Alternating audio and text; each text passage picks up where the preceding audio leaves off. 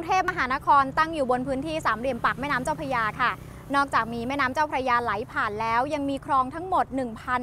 1,161 คลอง นั่นเป็นเหตุผลที่ทำให้คนกรุงเทพมีความสัมพันธ์เชื่อมโยงกับน้ำค่ะวันนี้นักข่าวพลเมืองสถาบันพัฒนาองค์กรชุมชน และคอสกลุ่มสถาปนิกชุมชน จะพาเราไปทำความรู้จักคลองในเมืองกรุง ผ่านคำบอกเล่าของคนท้องถิ่นเดิม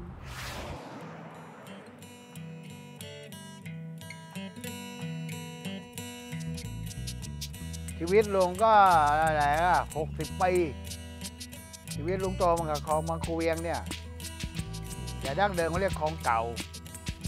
คลองตัวเนี้ยจะไปเชื่อมออกลงวัดใหม่ประดุงเขตไปออกคลองมหาสวัสดิ์เพื่อจะไปประตูน้ำถิมพีเพื่อจะออกแม่น้ำเจ้าพระยาได้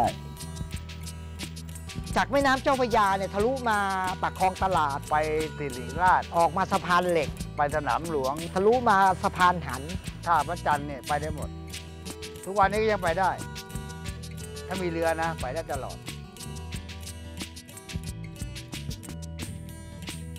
คลองมาตลอด ถ้าไม่มีคลองก็ตายต้องกินน้ำคลองอาบน้ำคลองสมัยก่อนบ่อก็น้ำแห้งต้องอาบน้ำคลองไปกิน เมื่อก่อนเนี่ยตามบ่อตามคลองเนี่ยยก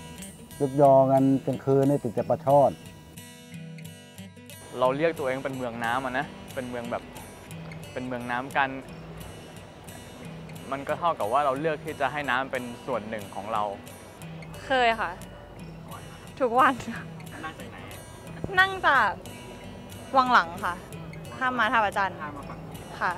ใช่ผมมาโตจากคลองเลย เพราะว่าบ้านผมนี่ก็ติดกับคลองอยู่แล้ว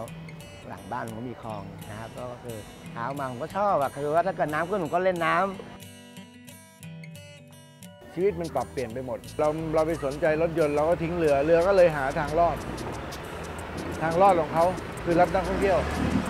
เราเราเป็นแหล่งท่องเที่ยวของคนไทยอยู่แล้ว ที่ต่างชาติเข้ามาเขาอยากจะเที่ยวคลองเที่ยวอะไรเงี้ยเข้าไปดูข้างในปุ๊บเนี่ยถ้าเกิดเจอความสกปรกถามว่าถ้าเป็นผมผมเห็นเราก็ไม่ชอบ ถ้าเป็นต่างชาติเขาก็คิดต้องคิดอย่างเดียวกับเรา don't want to change or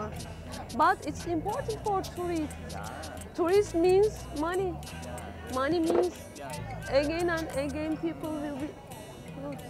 เราเราไม่ค่อยเราไม่ค่อยรู้สึกแฮปปี้กับการเห็นน้ำเท่าไหร่น้ำคลองอะไรเงี้ยหรือว่าน้ำท่วม คือเออรู้สึกว่าถ้าเกิดพูดถึงระบบการจัดการน้ำไม่ไม่ไม่ไม่เห็นไม่เห็นว่ามันจะดูดีตรงไหนเลยนะจากประสบการณ์ส่วนตัวนะ เวลาฝนตกแรงๆ น้ำเน่าอาบไม่ได้ครับ บางคนเขาก็ใช้น้ำอะไรเงี้ยแต่ ส่วนใหญ่แบบถ้าเกิดร้านอาหารแถวเนี้ย ก็น่าจะเอาของเสียทิ้งลงน้